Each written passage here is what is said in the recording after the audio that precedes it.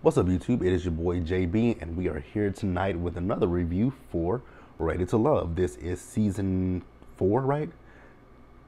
See, the, the guy says season three, episode 11, but it's season four, episode 11, right? The episode is titled Unfinished Business, you guys. So, without further ado, let's go ahead and pick up. Let's go ahead and get into the review. Pick up. Let's get into the review. Now, before we do that, if you guys are watching this video or any other video on the channel and you're not already subscribed to the channel, what are we doing? Why are we going out on a date and you're not paying for it at the end of it? So, without further ado, let's get into this review, shall we?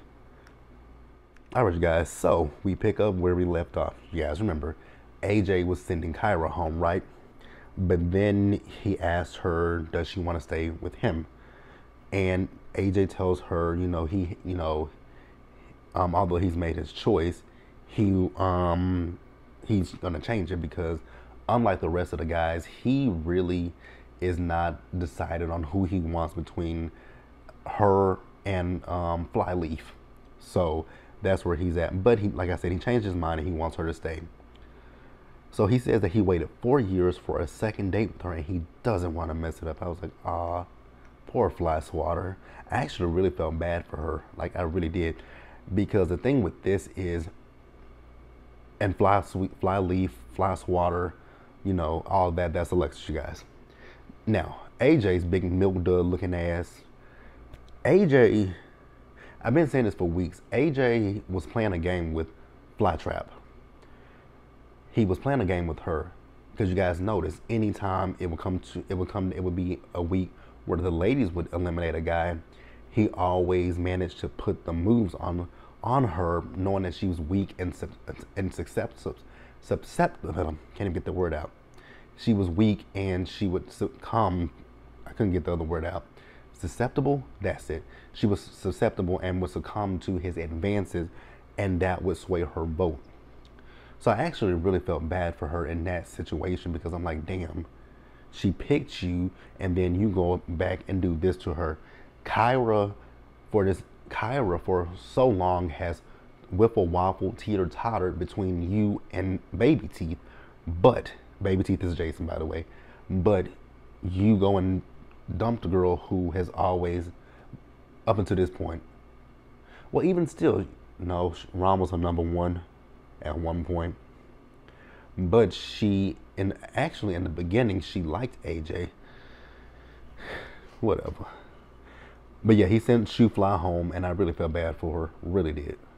So then we see the ladies. So the ladies go to Tommy, and he tells the ladies that he wants them to go on their last one-on-one date, and then this date is for them to, you know, to couple together to see if this is what they actually want.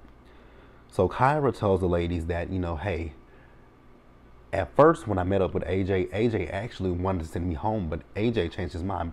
Like when Kyra walked in, Liz was surprised, like, wait a minute. AJ has a better connection with, um, you know, Flosswater. No, he didn't. He was playing her the entire time. She said she wants to talk to Jason. And, you know, um, because he never told her that he picked Liz. We're gonna talk about that in just a minute, you guys. Like, I, I have I have a bone to pick with him I know some of you guys have started to like him. Um, I know some of you guys have started to like Baby Teeth, but I got an issue with him, and it might be the same issue that Kyra has with him. But let's move on, you guys. Guys on here. All right, you guys. So Joelle and Bernicia, so they are having their date, right? And it's at her house.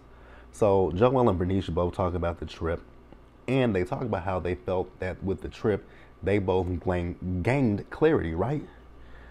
Now, I'm gonna be honest with you guys. When it comes to Joelle, I still reserve a bit of a side eye for Joelle, and the reason why I still reserve the side eye for Joelle is because you guys remember that week that him and Bernicia got into it, he was so quick to pick Kyra, and I'm still stuck on that. Like, what'll happen if you guys get into another argument? Will you go to the next chick?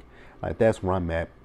So Bernicia tells Joelle that there was never a question for her. Like, he was always her number one but he she wasn't always his because again, like I said, that week that they got into it, he was ready to pick Kyra and throw her to the wayside, basically. But at this point, he says that you know he wants to try this out and see where it goes. I'm like, well, we at the end now. I'm sure you do. So then we see Liz and Baby Teeth, and they're out on a date, right? Now it's interesting. So I'm gonna piggyback to what I was just talking about a few minutes ago. So with me, it's interesting when it comes to Baby Teeth, right? You guys remember that episode where Baby Teeth, Liz, and Kyra went bowling with his friends, right? And Liz came in there, you know, dressed, you know, conservative, and Kyra didn't. You guys remember his friends were talking about they could they could sense the God in her, right? And in that episode, he said he could see himself picking Kyra. So what's happened between that that encounter where your friends could see see the God in Liz, but now Liz is all of this and she's all of that. Like that's where I'm at with it. So then Liz asks him what would he have done if Kyra had picked him. He says that he would have been there, you know, even if Kyra had said that she wanted to pick him. I'm like, he was a lie. Like I just don't believe him when he say he says that.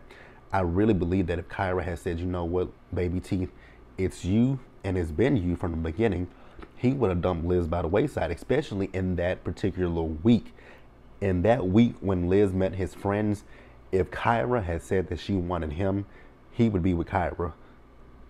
So then Jason presents her with some white roses. I'm like, oh, so we on The Bachelor now, huh?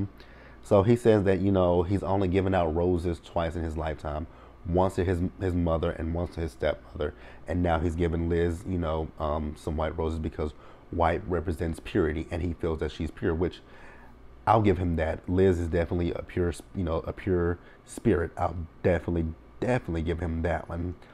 Um. So yeah, let's move on to the next day, which confused me as well. All right, you guys, Chris and Amber. Both Chris and Amber walking contradictions so they go out, and you know, Chris asks Amber when it comes down to Ron, has she had any communication with Ron? She says no, she has not had any communication with Ron. You know, she cut off communication with Ron after that date, and there was nothing. There was no, you know, there was nothing there, and that you know, at this point, she doesn't have, you know, anybody else that she's going in between. She is solely focused on Chris, right? So he tells her that he's ready for kids. He tells her how many kids he wants. I'm like, oh, this is interesting. You never once mentioned that you wanted kids. Now, Amber, I will say, she did say that. Now, remember, when she went on that date with Joel, Joel did ask her if she wanted kids, right? She did say yes, she wanted kids, right? Here's where things got confusing for me with both Chris and Amber. What episode was that? where they went out on that date, right? You guys remember there was there was an episode this season where Chris and Amber went out on a date, right? It was with his friends. Was it with his friends when they were in the studio? Because I remember she said she hadn't told her family about him. What date was it? That doesn't matter at this point. Remember, they went out on a date, right? They had a commun- They had um, communications about marriage, right? Remember, Chris said he didn't want to get married, right? And what did Amber say in return? She don't want to get married either. But in this episode, she contradicted herself because she said she wants to be married before she has kids, right? So then Chris says, Well, I'm celibate and I'm not going to have sex until I'm what? Married. I'm like, Wait a minute, wait a minute, wait a minute. But both of y'all said that you didn't want to have, you didn't want to get married, but now you guys want to get married? Please make it make sense to me. Like, I just didn't understand it. Now, I will say that Chris, you know, he poured his heart out to her. I did appreciate, I did like that. And Chris, please never tell us again how backed up you are. I don't care about that. So, Kyra. Kyra's on a date with AJ, right? She tells AJ that she is in a good space and she wants to move forward with him. Then she asks him, well, where do they stand? I was like, Kyra, where do you stand? He just sent Dragonfly home. Shout out to Misha for that one. He just sent Dragonfly Jones home over you. That's where he stands. He likes you. Honestly, you guys, some of these people are just playing this, playing a game to make it to the end. And I've asked this before.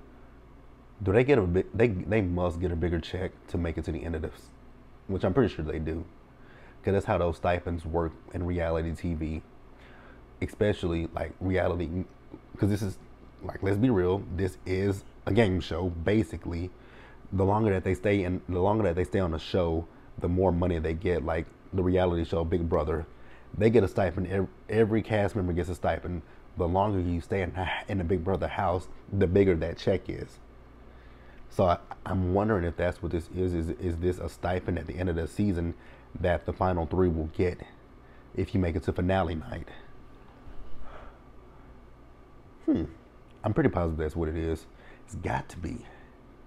Like I don't feel like these people are really looking for love. And I gotta be honest with you guys, Kyra at this point is annoying the entire hell out of me. Let's move on, you guys. All right, you guys. So the ladies they meet up with Tommy right to discuss the men. So they're telling Tommy about their dates. Amber goes first. She tells about her date and how you know Chris opened up. He started crying. I'm like, did he really cry? He said his eyes were trying to sweat. I never once saw a tear, but if you say he cried, we'll let you have it. But then she tells them that she's on the fence with Chris because Chris said he's practicing semen retention, and they're like semen retention. She's like, yeah, basically he's celibate. So Liz, Liz is on cloud nine with Baby Teeth, and you know she says that Baby Teeth told her that he picked her weeks ago, and Kyra just laughs, and Liz felt some type of way about that. So then Vernicia said that you know when it came to her and Joel, they had a conversation about what happened at the cabin so then Kyra goes and she tells Liz, like, hey Liz, like I wasn't trying to be rude or anything like that when laughing when you said how Jason that Jason said he picked you weeks ago because I just feel like that's, you know, BS. And I have to agree with Kyra, like I said a few minutes ago, about the whole date when they went to the bowling alley. Baby Teeth had not picked Liz at that point. I don't really know when he picked her. That's the issue. I don't know when Baby Teeth picked her. But um, like I said a few minutes ago, I feel like with that situation with the bowling, you guys remember he was still Team Kyra. And you remember his friends were joking, like I said before, his friends were joking about they can sense the God in Liz. I think he's playing a game, and I don't like it because the issue that I have with Baby Teeth is, like I said, he and Kyra were both in the same situation. You liked Kyra and Liz, Kyra likes you and um and uh AJ. So what's the big difference? So she feels a way about that, and she felt like Jason was playing a game, and I have to agree with her. I believe he was playing a game. So then we see Kyra. She meets up with Baby Teeth, and she talks to him about the conversation with Liz. Now he tells her he doesn't, you know, he doesn't necessarily remember everything. I'm like, are you serious? This is why I say I feel like he's playing a game with Liz and with Kyra. But he does apologize to her. And the thing with me was he wanted to sit there and put everything squarely on Kyra. And I'm like, no, this is not on Kyra. This is on you. Like I just said a minute ago, he's playing a game with them. Like that's just what I feel. Let me know what you guys think about that. Um, so then everyone meets up with Tommy before they make their final decisions. And Tommy tells them he wants them to go home and meet each other's families. I'm like, oh, good luck with that one. And that's the episode, you guys. So next week is going to be the season finale. Um, let me know in the comment section if you guys would like me to review that show. Put a ring on it. I'll think about it. Um, I don't know what that show is about, but I, I see your preview for it. But let me know if you guys would like me to review that. Um, that's it, you guys. Be sure to like this video, leave your comments in the comment section below, and subscribe to the channel. And hit the notification bell button so you guys are aware when I drop anything else. Share this video, and until the next one, stay safe. Take care of yourselves wash your hands, wear your mask or not, whichever one you guys do. Be safe in doing so. Socially distance and be blessed, you guys, and I'll see you guys later. Bye.